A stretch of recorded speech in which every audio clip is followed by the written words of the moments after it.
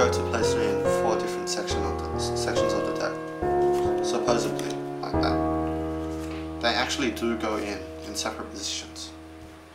Now what you do is with your with your left hand just hold on to the to the outjog cards, which are the four aces in this case, and just pull off um, just pull off small packs as you would in a normal shuffle and continue on like that.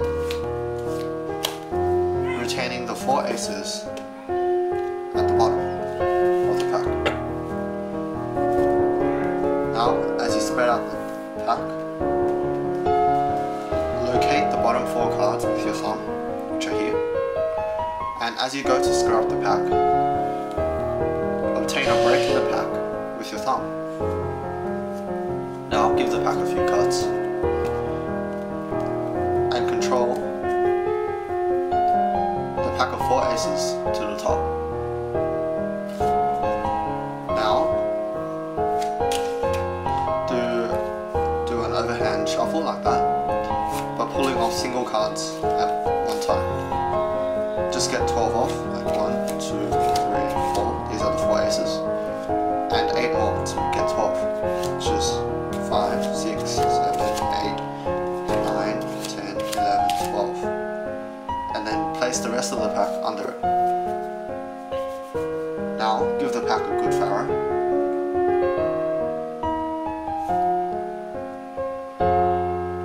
In other words, just interlace the cards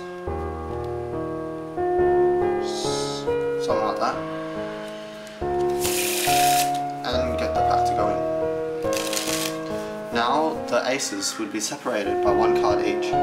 So one here, one here, one here, and one there. So you see the four aces. Now screw.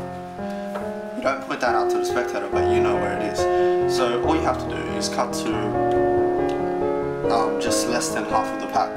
So the top quarter of the pack? No, no, the top, the top half of the pack.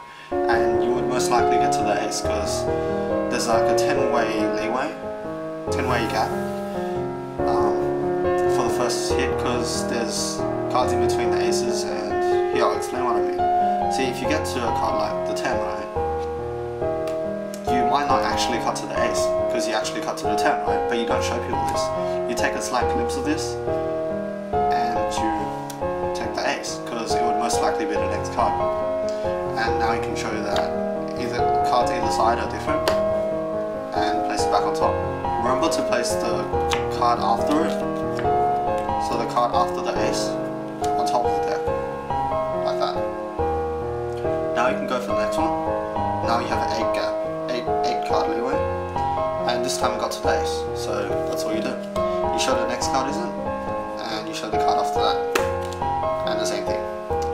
You just repeat for the last one. It's cut to approximately and you get This card isn't, that card isn't, right?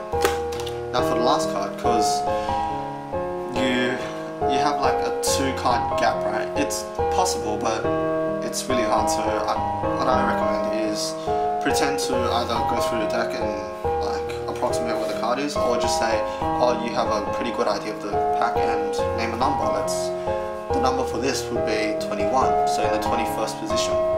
You can say 20 and just turn over the 21st card. So you count down 1, 2, 3, 4, 5, 6, 7, 8, 9, 10, 11, 12, 13, 14, 15, 16, 17, 18, 19, 20. I'll build up the suspense and the 21st card should be the ace. Which is right there, so sorry. Yeah, so the 21st card, which is the ace.